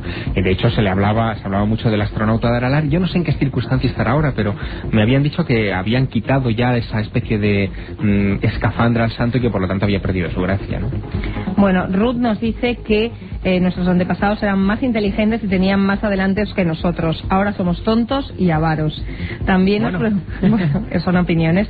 A ver si hacemos un especial de Vimanas, las aeronaves de los dioses indios, auténticas descripciones de objetos y propulsiones. Interesantísimo, ¿no? Manuel, los bimanas, antiguo, como en Egipto, antiguas representaciones de naves voladoras. Sí, además que está en toda la cultura, no solamente allí en, en la India, ¿no? Yo creo que Claro, en este es un programa... Merece un programa porque en este caso hay hasta casi libro de instrucciones, es decir, Sí, los textos, textos como el Mahabharata o el Ramayana los describen con mucha precisión, otros textos menores dan incluso detalles eh, sobre el funcionamiento técnico de estas aeronaves. Dicen que volaban eh, con un combustible que mezclaba mercurio y una sustancia todavía no identificada que los textos antiguos llamaban rasa. ¿Y eso? ¿Es rasa? Las naves hace miles de años. Otro oyente nos pregunta sobre el manuscrito Boini escrito en lenguaje extraterrestre. Bueno, yo creo que es mucho aventurar, ¿no? El manuscrito Voynich, yo creo que tenemos que invitaros a un programa de libros o manuscritos malditos, ¿no? Es, También. es mucho aventurar. Eh, en cualquier caso, se trata de un texto criptográfico eh, que no ha podido ser descifrado hasta la actualidad. Muchos, incluso después de intentarlo, incluso con modernos ordenadores, es un manuscrito del siglo XVII, si no recuerdo mal, o XVI, eh, han llegado a la conclusión de que el señor que lo pintó debía estar chalao y que se inventó directamente el código, porque no hay manera De de, querer, eh, de poder entender lo que quiso contar. ¿Cuántos temas apasionantes Como que nos proponéis? Igual, exactamente, como la isla de Pascua, como dice Manuel Delgado. Bueno, por ejemplo, Rudy, este tirarnos un poco de flores, lo siento, alguno bueno tenemos que decirnos. Programa más interesante, enhorabuena, seguir así en esta línea. Bueno, pues vamos a seguir así. Mm, tenéis que seguir escribiéndonos 7640. Eh, seguimos Espera, el Iker, domingo, una Katia, pregunta. ¿no? Javi de Sevilla quiere que contestes a esto. ¿Vamos a ir, vais a ir vosotros al Congreso Nacional de Periodismo del Misterio? Ah, amiga, eh, Carmen Porter. Pues sí, vamos a ir. Allí estaremos los días 12, 13 y 14 de septiembre. Se hacen, como ya sabéis, en Fuengirola, en el Palacio de la Paz, en el recinto ferial. Y lo organiza 12, nuestro 13, buen amigo Luis Mariano Fernández, corresponsal además de Milenio 3. Algunos de los que estamos aquí, Manuel Delgado, Iker Jiménez, Francisco Contreras, también nuestro corresponsal, José Guijarro, Lorenzo, muchos amigos nos vamos a reunir allí. Enrique de Vicente. Javier, porque está de viaje, creo, ¿no? Yo estoy en las islas, en, Una en La Gomera. Los escucharé desde allí. Pues eso, que tenemos una cita los días 12, 13 y 14 de septiembre en el Palacio de la Paz, en el recinto ferial en Fuengirola, Málaga. Las últimas investigaciones, un buen grupo de amigos y como siempre el misterio, la investigación y como dice eh, el icono de este, de este congreso, periodismo del misterio. Eso lo dice todo. Katia, que sigan escribiendo porque hay unas normas. Vamos a hacer el premio de investigación, lo repito, nos escribieron un montón de amigos, nos Ay, hemos quedado hoy nos han preguntado varios mensajes premio del sobre este misterio. periodismo de verdad, si vamos a hacer ese premio sobre el periodismo de investigación, que hay ¿A varios que tienen ya diferentes... La mejor investigación del año de gente que en sus regiones, en sus comunidades, sus casos, nos envíen el material y esos cinco libros, ¿no? Más allá y la revista Arqueología pueden publicar. Eso por supuesto, las mejores que hay. Eh, Katia, 7640, datos las Mensajes al normas. 7640 tienen que enviarlos, eh, bueno, ponen milenio, palabra clave, espacio y el texto. Si no, también nos pueden escribir mails a milenio3 con número 3 arroba cadenaser.com o bien por vía postal, Gran Vía 32, octava planta, 28013 de Madrid. Y sorteamos la semana, la semana que viene daremos los ganadores el viernes en el programa de 1 y media a 3 de la madrugada. Cinco libros de la Sábana Santa, editado por EDAF, E-D-A-F, EDAF, de Carmen Porter, dentro de la colección Archivo del Misterio. Y ya habéis visto que el mundo está lleno de misterios y que solo hemos dado una pincelada. Nacho, mm, venga, una frase lapidaria, muy rápido. ¿Qué dirías? Que sigue habiendo misterio en la antigüedad, ¿no? Y todavía nos queda mucho por aprender, sobre todo. Son guiños de la edad de oro. Yo estoy convencido que a lo mejor, a lo mejor es posible que si alguien quiere ver un OPARS de, en serio, a lo mejor solamente necesita mirarse al espejo. Bueno, compañeros, ahí está las, digámoslo así, sentencias de nuestros amigos. Hemos vivido dos horas de exploración y ahora os queda mucho, os queda la información. Y la información, por supuesto, con nuestro amigo Javier Manzano. Nosotros volvemos de 3 a 4 esta noche y el viernes de 1 y media a 3. Gracias, estaremos aquí, Milenio 3.